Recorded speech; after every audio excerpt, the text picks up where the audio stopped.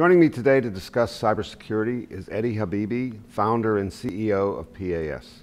Welcome, Eddie. Well, thank you, Seth. I'm glad to be here. It's good to see you again. Good to see you. Uh, you know, in cybersecurity, there's lots of different technologies and things, companies provide a lot of different things. Just to frame this discussion, can you take a moment and just kind of say how PAS fits into that space? We bring 25 years of experience in the operational technology arena.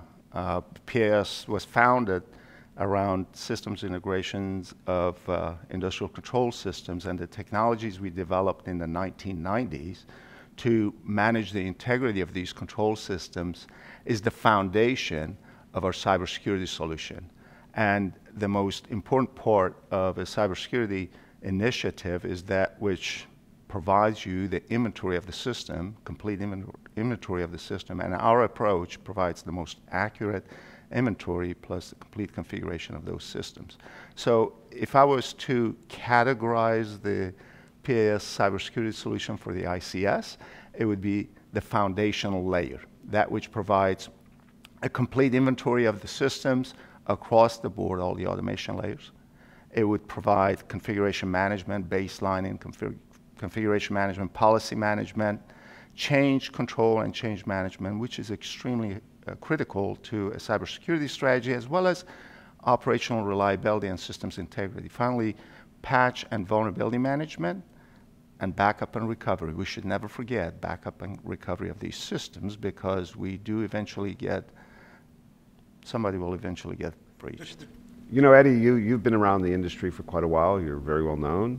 Uh, and I'm just wondering to get your perspectives on digitalization today. You know, what, what are the risks? What are the benefits of that from your perspective? That's an excellent question. Digitalization is the foundation of the next generation of technologies. Uh, Industry 4.0 is a name that the Europeans have given it. Uh, we call it smart manufacturing, smart factory, uh, many different names. Digitalization is the transformation of information into digital form from physical to digital. And it will bring about what we call the fourth industrial revolution, the first one being the, of course, uh, James Watt's uh, steam engine, and then in the late 1800s, the electricity brought the second generation of phenomenal technologies that transformed the world, gave us 24-7 working capabilities with lights, etc. And then the next generation, what we call the third generation, or the third revolution, industrial revolution, uh, was uh, post-World War II. Digital technologies, mainframe computers that eventually led to the information revolution. We are at the cusp of a brand new revolution that's going to bring about productivity improvements, in ways that we couldn't conceive before. This transformation is going to reduce tremendous amount of cost, automate a lot of activities that are labor intensive today, and uh, but there is one or two, actually a couple of uh, significant issues that we have to keep in mind. First is the acceleration and transformation time period going through this transition as compared to prior industrial revolutions. This is going to be very, very fast. The second part is with all the digitization, digitalization, and the capabilities come about, vulnerabilities increase.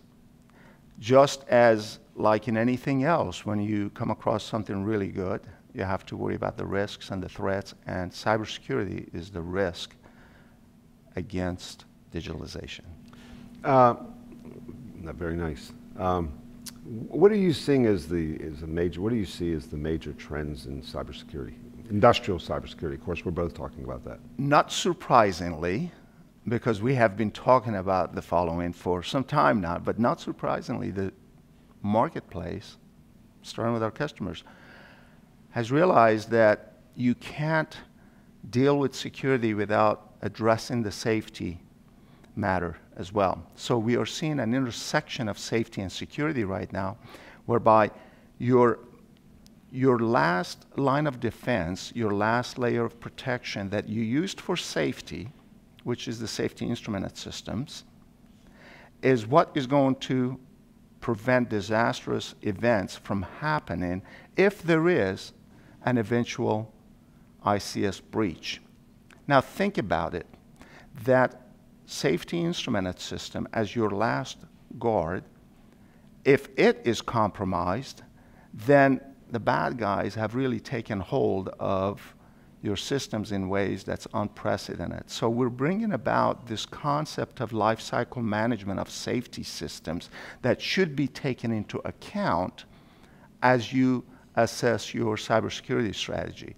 So the things that we started doing way back 20 years ago, 25 years ago when PAS started, which coincided with the advent or the release of OSHA 1910-119, process safety management regulation, we have taken those, that knowledge, we have taken the safety um, uh, best practices and are intersecting that with our cybersecurity solutions. So we see this as being probably the fastest uh, traction gaining, if you will, uh, trend, trend for cyber, cybersecurity.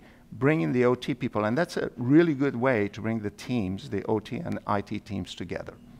In fact, after as you were talking there, it just reminded me. I think, I think PAS was rated number one in, in safety lifecycle management. Am I correct? I, yes. It was not a report I write, but I mean in an ARC report. Yes, absolutely. That was that was a pleasant surprise. We just I just saw the report two weeks ago that uh, ARC released. It was assessment of software companies that provide safety lifecycle management, which is basically managing the integrity of your safety protection layers, starting with basic control loop management, alarm management, boundary management, boundaries such as your SIS, safety independent protection layer. So we're really delighted about that. What are some of the key initiatives that PAS is focusing on when it comes to plant cybersecurity? One of the areas that we are very well known for is providing inventory of the control systems. Uh, the inventory of an automation asset is the first step towards a robust initiative. The expression that we like to use is that if you uh, can't see it, you can't protect it. And there is not a lot of visibility to some of the older control systems, even some of the new ones are hard to detect. And we have methods that provide 100% of the inventory of these control systems. Yeah. Uh, you know, I, I, I, recently saw, well, not so recently, but a while ago, where you received $40 million investment from Tinicum. Yes. Uh, could you comment on that, you know, the drivers behind that and, and the goals for that investment? Sid, as, as you probably know, we started the company in 1993, self-funded, uh, originally as a uh, consulting firm around the OT technologies, integrating and optimizing control systems, advanced process controls, etc. And uh, very quickly we came across a proprietary technology that we developed to manage the integrity of control systems. That technology became the foundation of our cybersecurity solutions, where about five years ago, customers started telling us, look, what I'm using to manage the integrity of the control systems is that same technology I need to comply with NERC CIP uh, requirements and other requirements for inventory management and configuration management. So uh, over the last five years, we have seen significant demand, increase in demand for our technologies. And we reached a point about two years ago where we said, self-funding this company is not enough. The market size is massive. Our customers are requiring faster, more rapid deployment of our software, as well as we have a lot of opportunities for uh, uh, adding to the technology, expanding the layers of the technology. Well, thank you, Eddie. It's always a pleasure to talk with you. Likewise, Sid. It's great talking with you, as always. I am delighted. We have a team that is just excited about the opportunities ahead. We've teamed up with a couple of phenomenal companies, uh, Siemens, Darktrace, and Tenable, and uh, we believe it's going to be a fantastic 10 to 20 years coming our way. It's great seeing you. Same here. Uh, we've been speaking with Eddie Habibi, uh, founder and CEO of PAS. Thank you for watching. Thank you, Sid. It's great talking with you.